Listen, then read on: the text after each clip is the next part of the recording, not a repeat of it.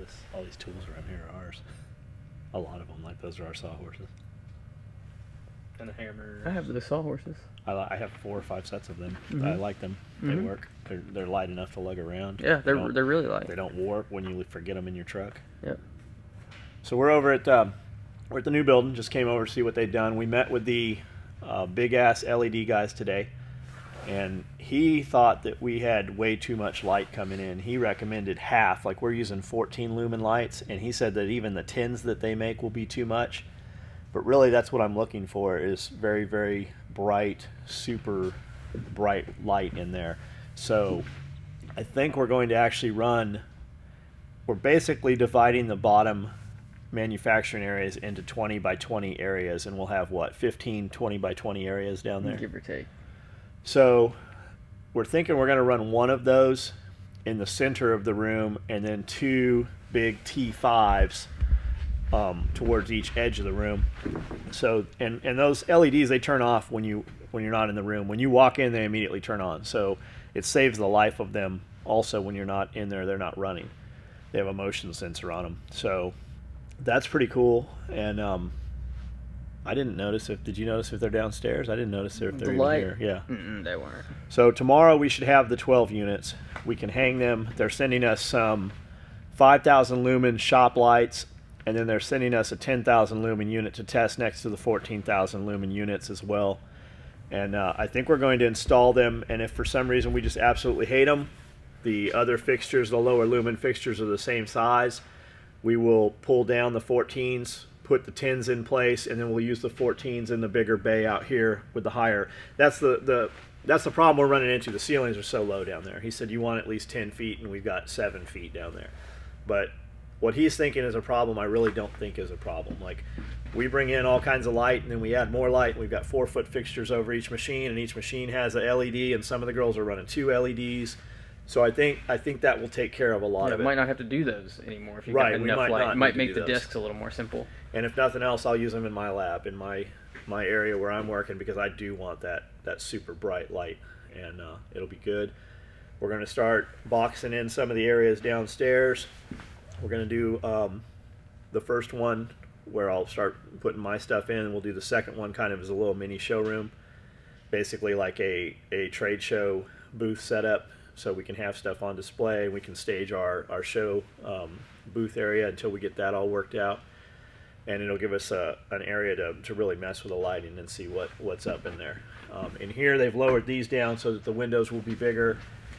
All of the framing on the front is cut out. The whole entire front will be glass. The glass guys were supposed to show up today and did not show up. So we might be shopping for another glass company. There's there's there's a myriad of them around. We were trying to use a, a very local company, and uh, we'll see. Maybe they'll show up tomorrow and have some info. If not, you know, there's other companies that can come in and do it.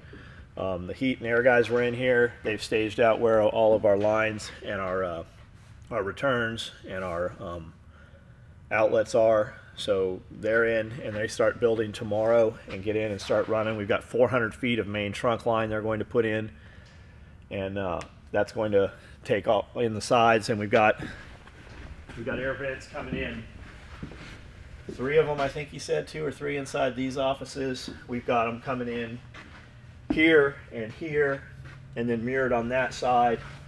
We'll have something coming in both these sides.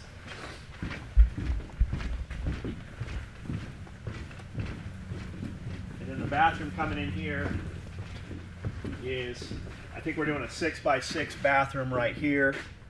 There'll be one come airlet coming in. There'll be air over here. The kitchen goes here, and then we've got the there's a a return here, and then a mirrored one on the other side.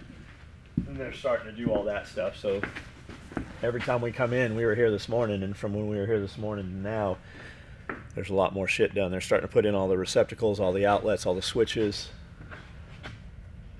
Am I missing anything? Mm-mm, no. So we start looking now. We're looking at um, floor products, tile, carpet. I think we're using a, a heavy traffic um, carpet tile by Mohawk, and it has a, a kind of a pattern, a one-directional pattern, kind of like lines in it, where it goes kind of ridges. So down the middle, three feet, we'll just have it all those tiles facing one direction, and then we'll stagger them and make them a pattern off to the sides. In the in the area here, we'll run some kind of hardwood or hard flooring. In the kitchen, we're using the KraftMaid kitchen cabinets. I think it's a it's a maple with a red lacquer over it with the stainless steel poles, and then the the um, glass with the wire mesh inside is going in for the kitchen. We've got to start measuring that out. Once the bathroom's in place, we'll really know. Once the bathroom and kind of the return lines in place, we'll know what we've got left kitchen wise, and we'll just conform the kitchen to the size that's left. It's not we're not cooking up there or anything. It's more of just a, a bar and you know food little food prep area where you can pull food out of the fridge. There'll be a microwave and shit up there. Other than that, that's uh that's about it. We just it's what 4:30. It's almost Mhm. five. We just wanted to get out of the shop. Really, that's why we're here doing this right now. We just wanted out of the building for a few minutes. Heather's crew is running hour and a half over tonight or something. Something. Is it their stand? Just getting everything built up for while we're at Shot Show. All the work, the pre-work stuff, and then uh, I think there's girl. I know there's girls down there selling still. You Yeah. guys get a Always. shitload of belts today. Uh, we got a pretty good bit. We did. Yeah, I've gone. We had three different. Quite a few. Yeah, he just got another thing of them, and they've gave me three different bundles. So We just got another thousand so buckles today, so I'll be cutting belts again tonight.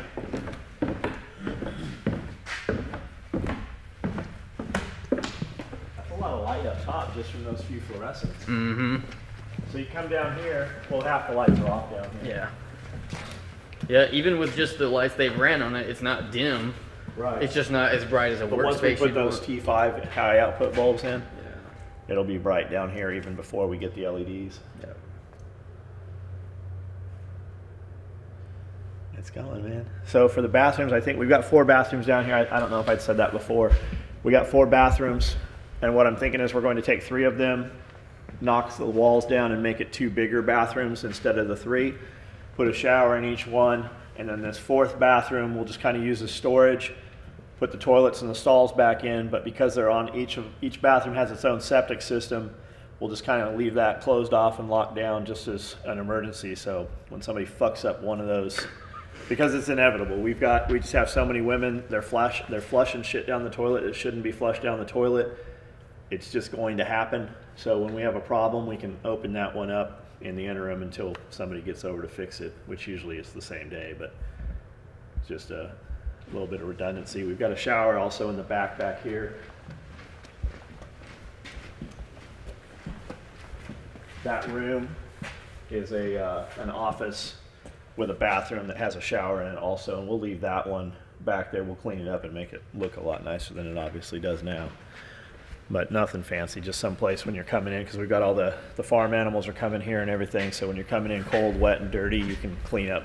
Really, a mud room's what we'll probably use that as. And then down here, we're looking, um, we got some guys coming in to look at the floor for some epoxy options. Um, degreasing the floor, sanding the floor down, and then, uh, epoxy, they're gonna patch this floor and then, uh, epoxy it. And then once that's done, once this stuff all gets moved to the back, once the floor's down, we'll go ahead and start actually doing these a piece at a time. We'll put the lights up, put the walls and the ceiling in, and then divide this up as a 20 by 20 work area and start actually moving some shit down here. And uh, get a few people in here and start running them and see what kind of problems we really have or don't have. And uh, size wise, if that's where we want to go or we want to knock them down and make them bigger or whatever. Um, some of you guys are asking about power to these walls because there are no walls here. There's going to be a boxed in area here that runs down this beam. So we can drop power, we can tie in and drop power, we can hang power, or we can bring it down to a gang box. And then once we build walls in, it'll just come down off of there. But it's already, it's already in motion. They've already got that worked out. So we'll have power anywhere there, where there would be an imaginary wall, we'll be able to drop power to it. We can bring it down on the floor or we can bring it down from the roof. So they, they I'd asked them that today and they'd already had that into uh, account. That's about it. All that steel should start start running in the next couple days. I should start putting all that shit together.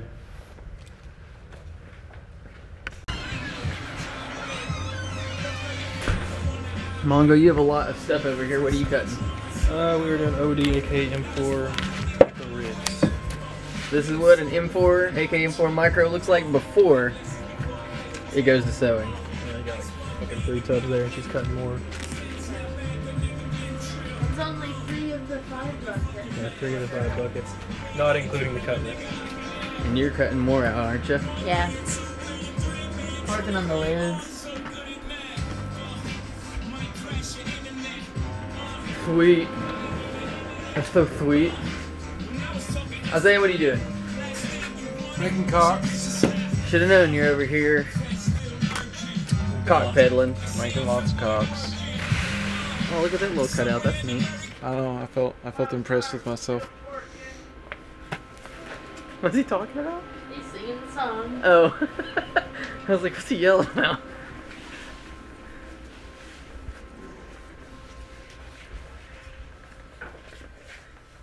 You might not know everyone, but John's a rapper part time. we hear his raps daily.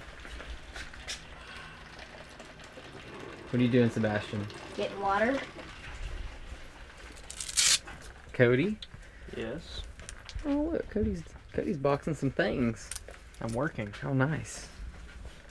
I'm giving you more work to do. That's right. For a day. Lance, what are you doing? I'm working. What are you doing? Just saying hi to everyone. Hi. I'm just I'm just packing stuff. This is Lance's department. Those are all belt orders getting built. Got me some smart water. I need I need some of that. Awesome. Get some of that in me. Get all smart. I feel better already. Didn't even have to take a knee for that one. Alright, well, I'm going to close this out. Thanks, everybody.